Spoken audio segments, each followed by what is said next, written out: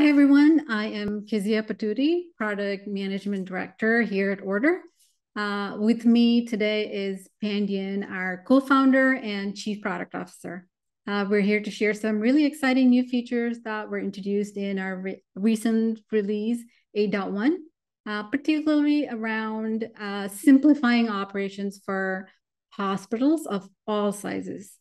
Uh, we'll talk uh, more about the grouping of devices that's going to achieve the simplification. But Pandian, if you can start off by talking a little bit about the new customization in the location uh, area. Thank you. Thank you, Kezia. So yes, we are very excited. We posted a major new release, 8.1 Clinical Defender, two, three weeks back. Our customers are adopting it. Everybody is excited. Uh, today, we want to talk to you about one function that makes the entire operation simplified. The fundamental philosophy about this is when a person logs in, the platform customizes to what the roles and responsibilities of that function person and then presents data to his needs of everyday operation, bringing the power of personalization to every individual that is operating in the platform. So let's start with location. So you know, the platform can customize it based on region and location. And location has got many different ways of obtaining it. You can get location simply by the sensor that gathers data. You can get location through RTLS. For example, if a nurse is looking for an infusion pump, that's very powerful RTLS micro location. If there is a security guy, he is looking after some malware, you want to know exactly which switch and which AP that it is connected to so that we can go down to that particular switch port and then disable that switch. If you are a network administrator, you probably want some information like VLAN and SSID based location. So there is many, many ways of doing location. We are keeping all the locations alone and we still have locations like this is this building, this floor, this ward, this is east, this is west, all of that location coming from network management systems and all of that is still preserved. But what we are trying to do is we are trying to give a location as a system field for users to do in an administrative way based on the region and location, and they can completely customize it and change it. For example, if I click on Midwest, then apply, I am customizing the dashboard to, to the devices in Midwest.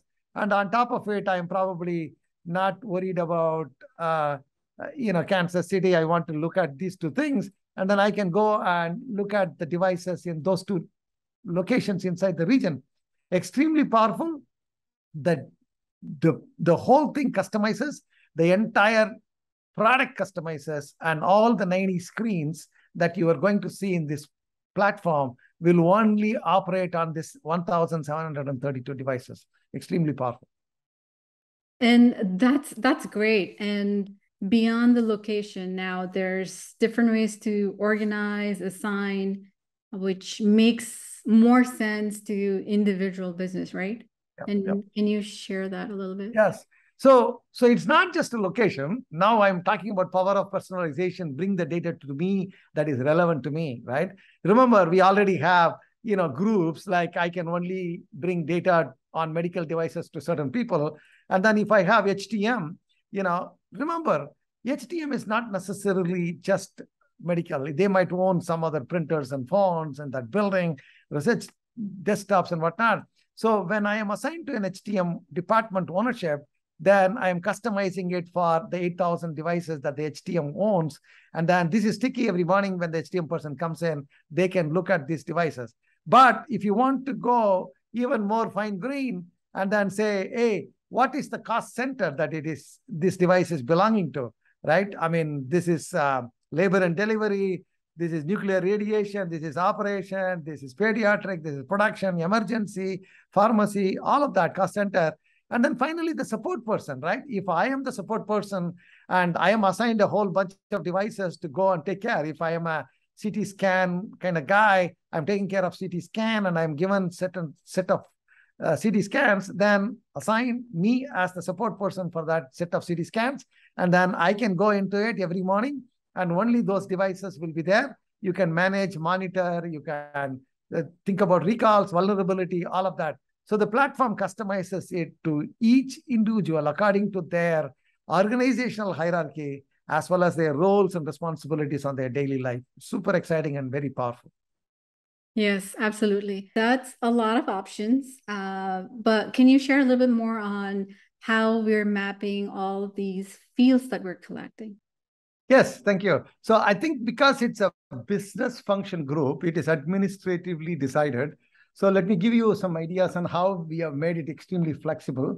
So if you go into our settings, um, so if you go into uh, data mapping, so see here, asset support staff assigned to support person, asset cost center assigned to cost center, asset business function assigned to ownership.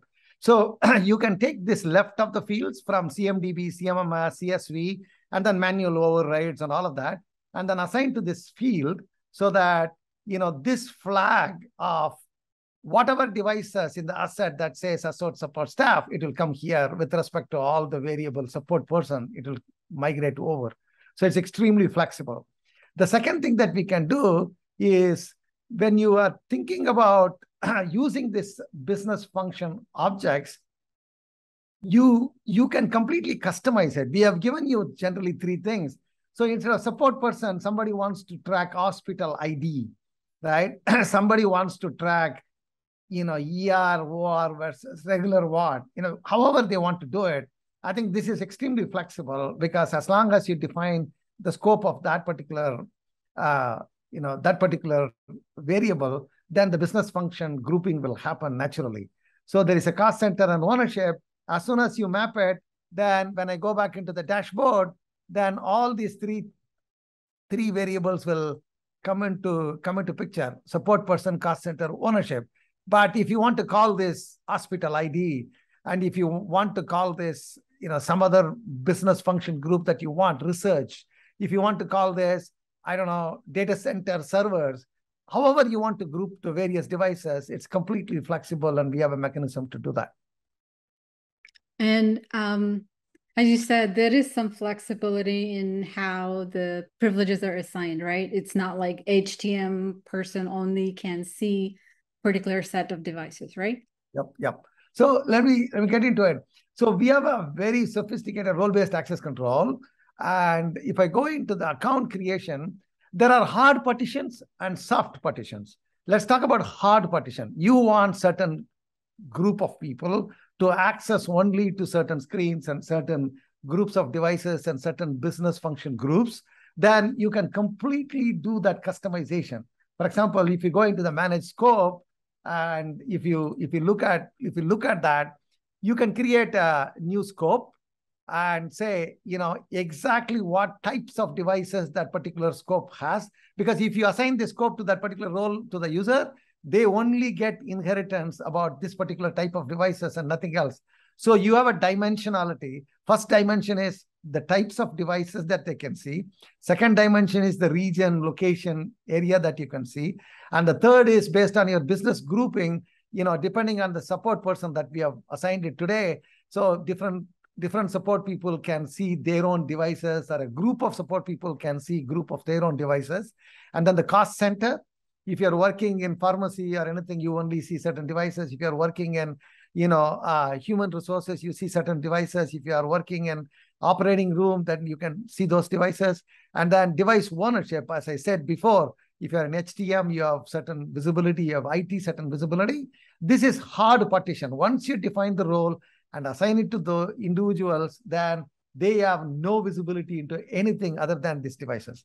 But if you want some administrative functionality, some managers, supervisors, higher level people who want to have visibility about a lot of different options, then they can go into the shaping screen and then say, hey, I want to see, eh, you know, not only my devices, but George's devices, Henry's devices. I want to see not only the cost center of pharmacy or nuclear medicine or operating room or you know pediatric i want to see everything.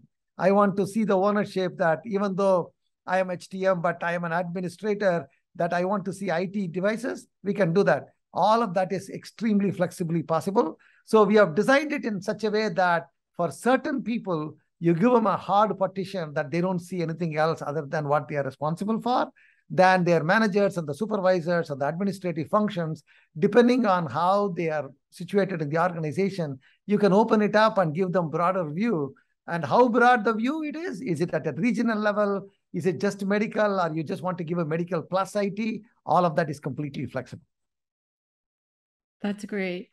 Obviously, there's a great way to give uh, access to and customize how folks can um, access all this information, but it doesn't mean they can do whatever they want, right?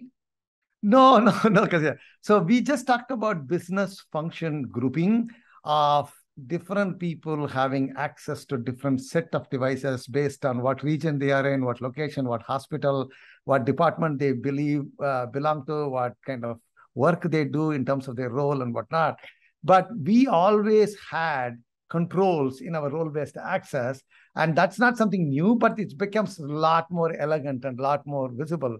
So for example, um, if I go into creating a new role, I can actually create a new role every time that we create a role. And then, for example, I created Pandian HTM only, which means this is the role that I want to assign to certain biomed clinical engineers that are not security conscious or not IT conscious, but they are only working on devices and equipment on the tool.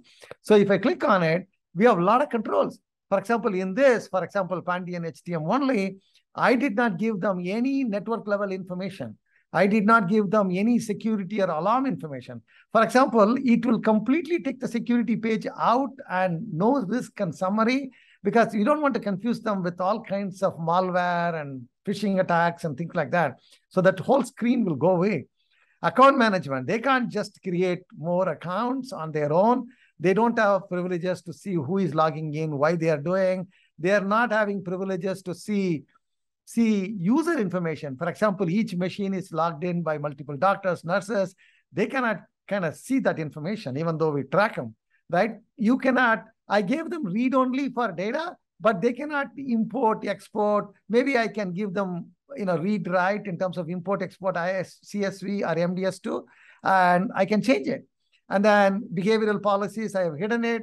Yeah, absolutely, they can do utilization data in terms of read, write, or read only. So if I customize it and save it, then I, I get a completely customized role. And if I assign that role on top of the business function, they always have controls on another dimension.